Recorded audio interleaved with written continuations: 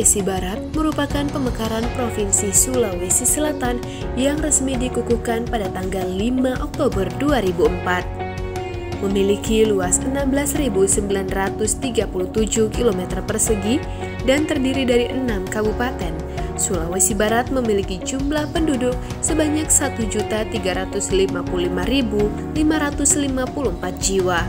Memerlukan Kementerian Agama Provinsi Sulawesi Barat demi memenuhi kebutuhan spiritual masyarakat. Dalam rentang waktu kurang lebih 15 tahun, Kepala Kantor Wilayah Kementerian Agama Sulawesi Barat telah berganti empat kali masa kepemimpinan.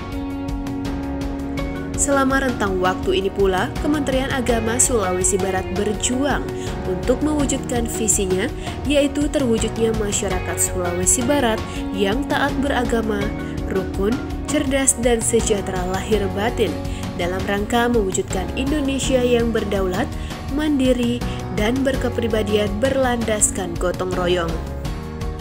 Visi ini tercermin dengan penetapan Desa Sadar Kerukunan yang terletak di Kabupaten Mamuju Tengah, tepatnya di Desa Pelongaan tahun 2016.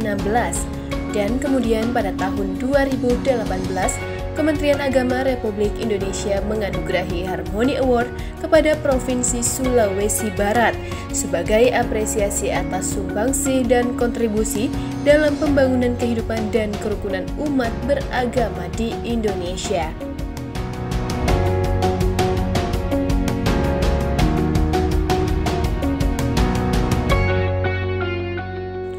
Kementerian Agama Sulawesi Barat juga memenuhi kebutuhan spiritual masyarakatnya melalui penyelenggaraan haji. Berkat pembinaan pelayanan dan perlindungan jemaah yang maksimal, petugas kloter 10 Ujung Pandang asal Kabupaten Majene dan Kabupaten Pasangkayu, Provinsi Sulawesi Barat, mendapat penghargaan sebagai kloter terbaik dari Ketua Maktab 17 Arab Saudi pada musim haji 1440 Hijriah. Di sisi lain, Kementerian Agama Sulawesi Barat dalam mengupayakan efektifnya pembangunan spiritual bangsa berfokus pada pendidikan madrasah dan pembinaan keagamaan.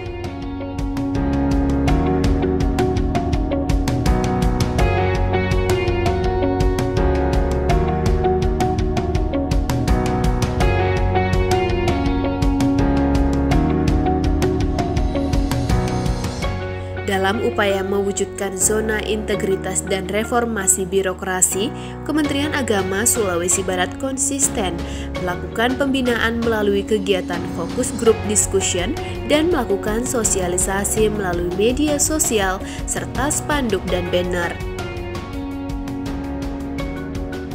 Untuk menuju wilayah birokrasi bersih melayani, maka Kementerian Agama Sulawesi Barat melalui pelayanan terpadu satu pintu selalu berupaya meningkatkan kualitas pelayanan dengan menerapkan standar operasional prosedur, sehingga melalui PTSP dapat terwujud komitmen Kementerian Agama untuk lebih dekat melayani umat.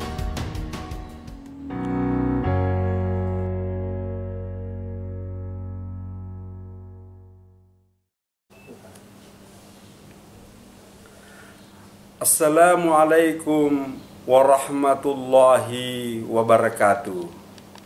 Salam, Om Swastiastu, Namo Buddhaya. Selaku Kepala Kantor Wilayah Kementerian Agama Provinsi Sulawesi Barat, saya beserta seluruh jajaran mengucapkan selamat dan sukses Rapat Koordinasi Kehumasan tahun 2020 oleh Inspektorat Jenderal Kementerian Agama Republik Indonesia. Wassalamualaikum warahmatullahi wabarakatuh. Om Santi Santi Om. Salam Namo Buddhaya. Salam kebajikan.